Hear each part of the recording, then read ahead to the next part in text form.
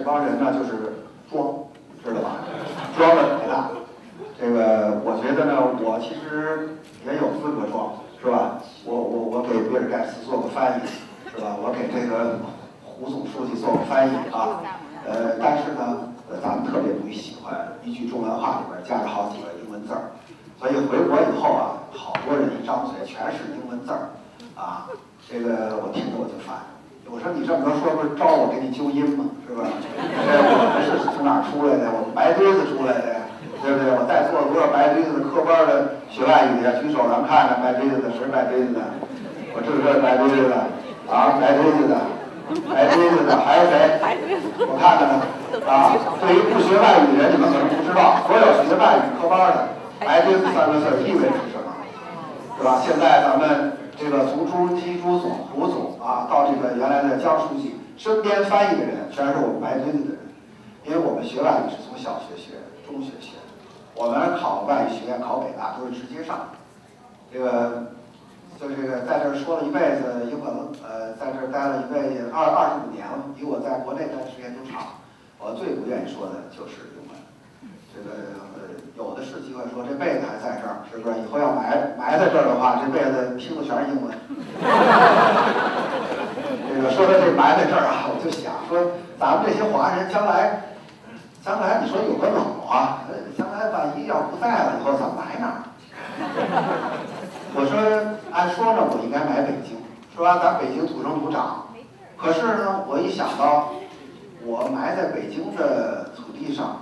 呃，让来自不是北京的外地人开车在上边走，呃，然后呢，我听他话里边又没有北京的乡音，呃，觉得好像呢有点心里边有点不对。可是你说埋在这儿吧，这毕竟又不是咱们的故土，说落叶归根，哪是我的根，对吧？我就是，我说想来想去，我还是我还是来北京。可是北京我一打听这墓地，吓我一跳。这墓地太贵了，我都我死不起！这现在啊，我就跟他墓地管理人说，要不然不死行吗？我别死。现在在国内混成什么样了？就是说，活着的时候吧，买不起房；说死了以后呢，买不起墓地；说不死不活吧，又住又住不起医院。说这怎么办？这个？后来有人说了，说咱们将来死了以后啊，不是墓地贵吗？咱也别躺着买。咱站着买，行吗？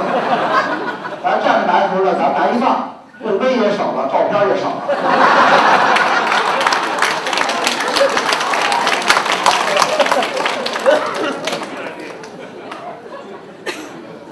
每次我回去回北京，先问这出租司机，我说给我讲俩段子。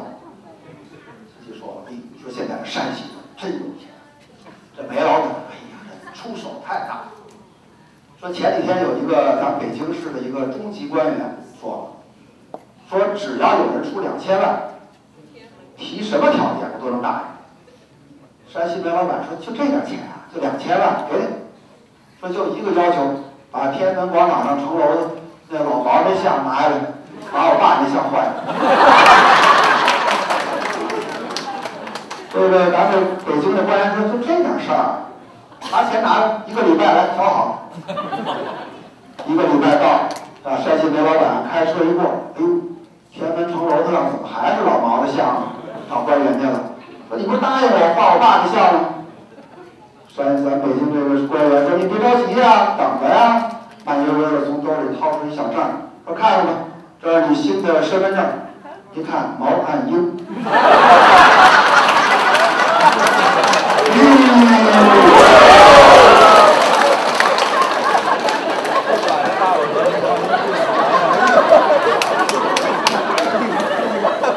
以看来，你看你跟你爸长得多一样。你看你爸又冲你笑。哎呀，这给大家讲点什么呀？说这个，说咱国内现在开始派一队讲英文的官员在纽约专门招标征这个联合国的活，说联合国有一扇门坏，要向各国招标，啊，看谁能够出价好，把这门给修了。印度人先出价，说我们就出三千，说一千美元呢，说是买料，一千美元呢是我们人工，另外一千美元呢我们赚的利润。德国公司招标，说我们出六千，说两千买料，两千人工，两千利润。咱中国的招商队来了，说我们出九千，说说三千料，三千人工，三千利润。联合国说说一破门怎么九千美元太贵了？咱中国的包工头说了，三千美元给你作为回扣，三千美元给我作为利润，另外那三千咱雇伢那傻逼印度人在家干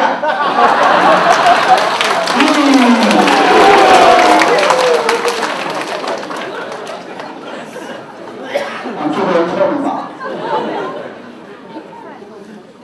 有一天我在这个洛杉矶碰一北京人，这北京人说说我今儿又躺那儿了，还警察又抓了我了。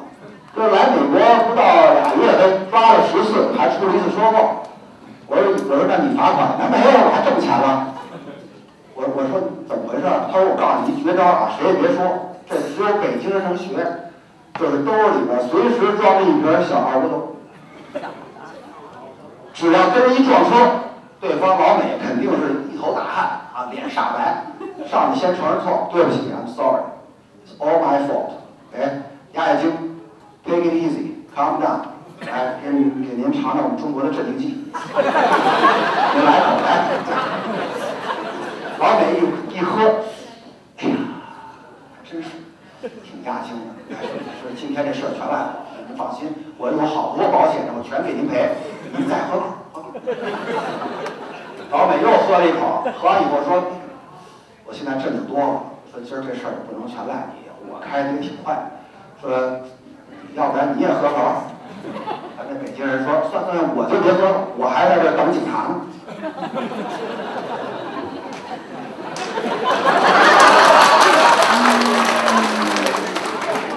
还看谁酒后驾车。所以多伦多的同胞们啊，装一小瓶酒，搁兜里。这个现在闹海盗知道吧？索马里海盗专门劫货船，一般都不劫中国的。结果那天实在没船劫了，说干脆咱劫一艘中国的，劫一艘，把船长押回来了，说罚款啊，要不然撕票。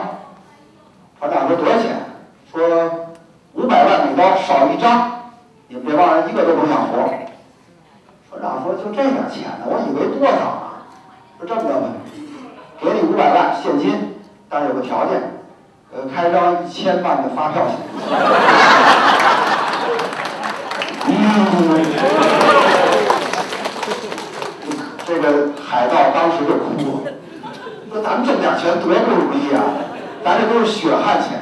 咱咱低着个脑袋挣啊！说你看人中国官员，人家嘴一动，人家不坏，还是人家狠，咱跟人没法比。我今天拿这个，是因为呢，咱们多伦多有一位华人呢，就是 Benson 王，他有一个叫精英领袖论坛。这精英领袖论坛呢，这个我就给他们提个建议，我说如果要叫精英领袖的话啊，也转达我一个一个想法。就是我们中国的啊精英和领袖，无论是在加拿大还是在国内，从国外已经没什么可学的了。管理就这点 MBA，就这点事儿，是不是？啊，我学了半天哈佛 MBA，最后国家欠账，也就这样，是吧？说管理这个这个管理人，美国人这教的这加拿大人教永远管理不了中国人。该学的，咱们中国人从国外都学到了。唯有两个字儿，中国人没学到，就是幽默。咱们中国人有幽默感，但是咱不敢秀。咱们中国人太智慧了，太幽默了，但是不敢在任何正常的场合亮出来，因为咱们觉得这是不正经，不能登大雅之堂，不管底下多搞笑、多滑稽的人，一上台装的跟他们这什么似的，是不是？脸也耷下来了啊，肌肉也不会动了，是不是？上来一念稿，判处有期徒刑二十年，剥夺政治权利终身。人活着就不能稍微放松点儿，是不是？所以我呢，就是想通过我在海外这么多年啊，我就来呼吁倡导我们中华民族啊，我要写一本书回去以后，叫做《中华民族到了该幽默的时候》。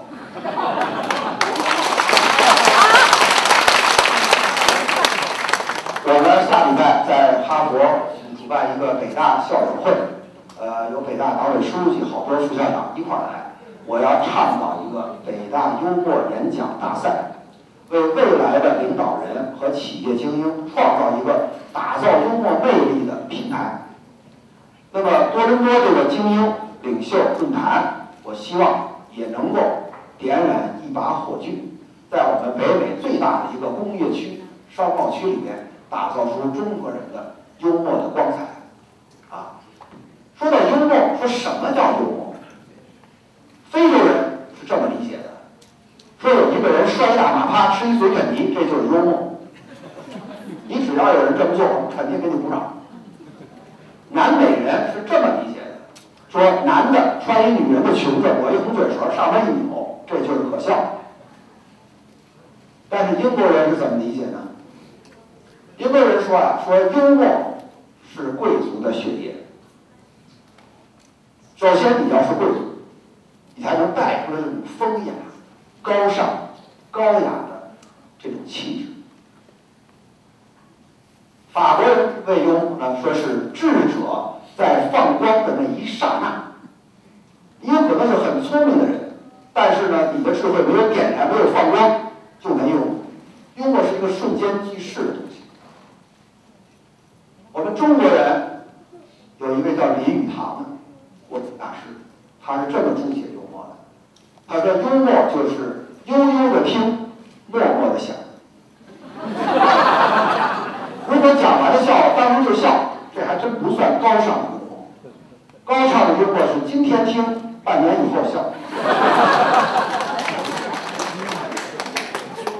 所以我一回国，我说：“你看你这二人转，小品。”模仿秀、达人秀，多俗啊！如果按照你们的达人秀，马三立相声大师到这来站，你们肯定给摁下去，因为说了五句了还不笑呢。这侯宝林说十句还有不笑的时候呢。这中华民族让你们把智慧降低在这个层次，还不如非洲人、南美人呢。这不是等等于给咱们这个文化给糟蹋了。所以我就回国去啊！我现在实际上我不是在表演，我是在唱。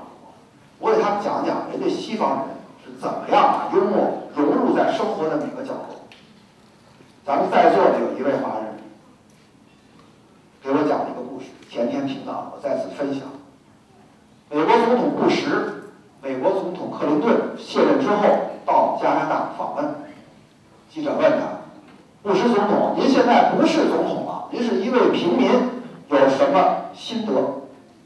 布什说：“我在大街上走着，碰一老头儿，看见我，说你长得怎么跟像那布什那小子似的？”布什微微一笑，老头赶紧说：“I hope you're not offended。”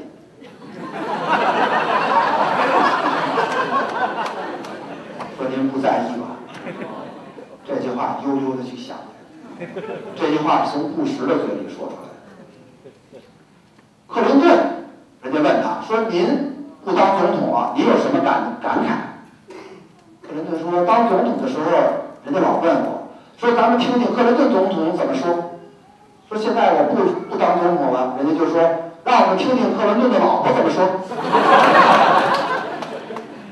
这两个话来自两位曾经是总统的，曾经是美国的。这个这个头号首领的人的话，连人的嘴，这种放松、调侃、放下身段，我特别希望看我们中国的领导人也能玩这么一把，是不是？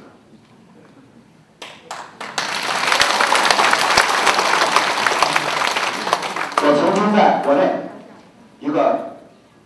场笑的一个地方，和他们讲，我说想知道美国施瓦辛格州长是怎么竞选的吗？施瓦辛格往那一站，第一次宣布我要竞选州长，就说我叫施瓦辛格，施瓦辛格，我呢身上很多缺点。第一，我见了酒，我走不动道；第二，我见了女人，我走不动道；第三，我见我我我说大话，我朋友都不信我，连我自己都不信。但是我就有一颗心，想为别人干点事儿。我要当了州长，我一年挣十八万美元。我现在我有五十个亿。我要是当了州长，我不想出名，因为全世界都已经认识我了。我现在就想给老百姓、给加州的普通的人干点事儿，因为是加州成就了我，是好莱坞成就了我。是一个德国移民，我英语都不会讲，我现在讲还有口音。我要是没有好莱坞，没有加州，我怎么能有成为今天？现在是我回馈的时候，我希望大家给我这机会，就当选了。对不对？我们中国人就是不敢展现自己的短处，要护短，要面，要完美。好好的一个奥运会，这么小的一个小孩唱歌，哎，还要找一个替声，搞得全世界说，你看中国一切都是假的，啊，展现出来人间的完美，最后全都是虚伪，因为真正的东西全是有假的。全是有缺点，那么我现在就是想呼吁我们未来的领导人敢于亮自己的缺点，是不是？说我这人政绩特别好，但是我就爱贪污，我这是错的。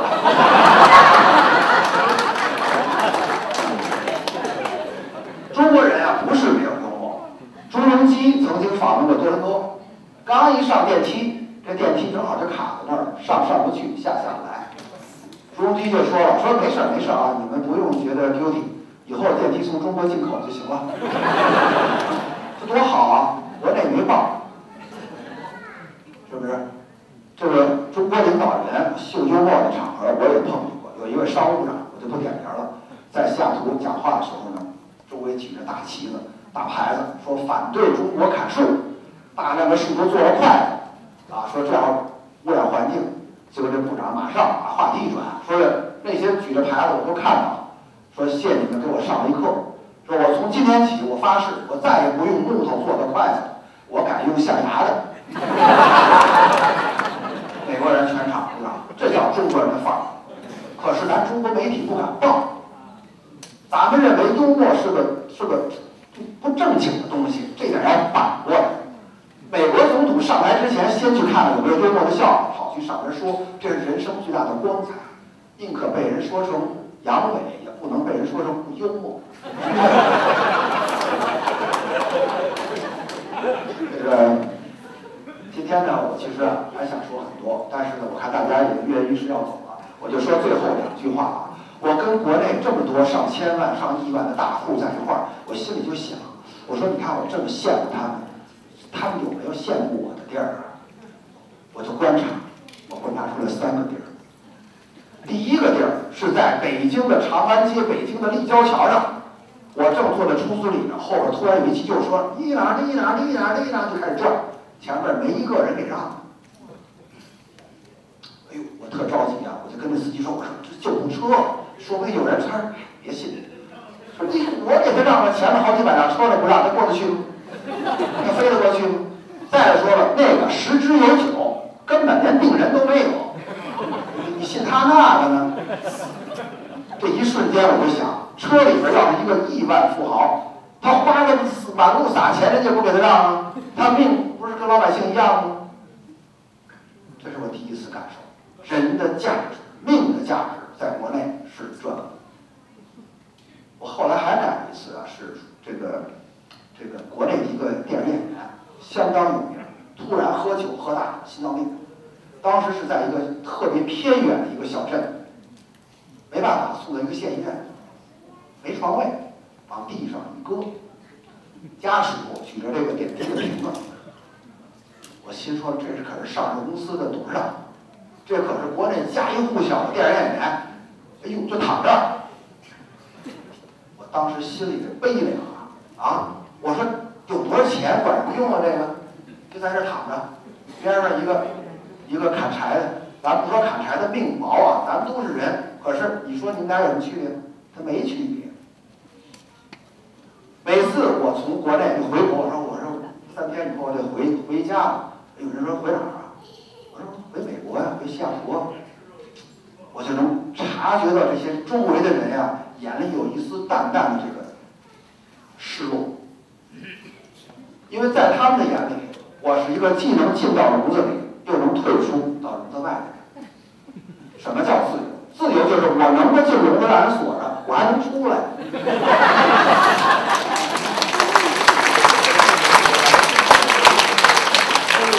说富人和穷人有什么区别？就是富人可以选择穷。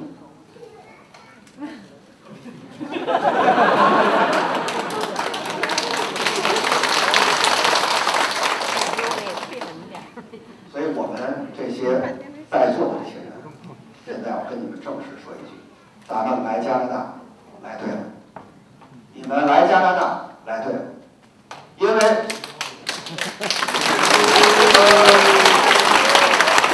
这话我不能在国内说，或或者说就非得给我配音啊。因为在座的这些人，通过你们自己的努力，改写了你们这一代的人生和咱们下一代的人生。在你们姓张、姓王、姓李、姓赵的家谱里边，突然搭到了另外一个血脉、另外一个根、另外一个文化的源泉。这个选择，是在座的这些人用双手给后代创造。哪怕咱们这一代牺牲了，咱们无所作为，没事儿。但是咱们打造的这个未知的可能性，开上的这扇门，是你的后代永远忘不了。所以希望大家啊，记住你们的重孙子和重重孙子的名字。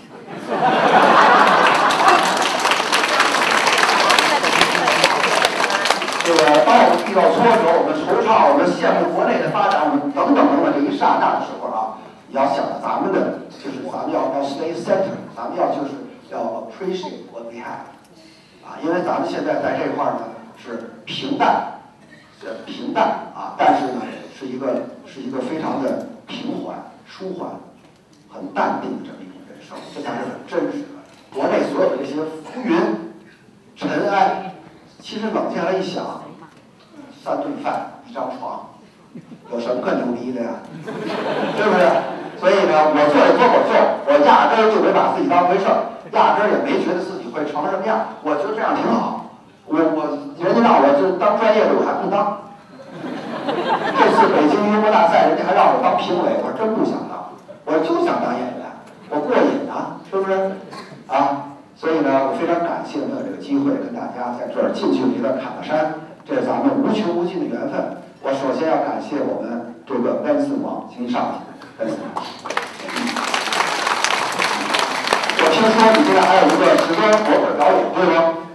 有吗？咱们有吗？时装模特，咱们多多美女啊！音乐上，咱们这个能上吗？好，我们现在到一边让模特上，我们一边呢，你来把这些咱们其他的主办人。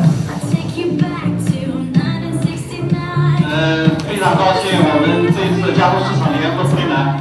邀请到这个我们这个白尾皮哥，他的经典的睿智呢和让我们开怀大笑呢，今天呢是我们荣幸。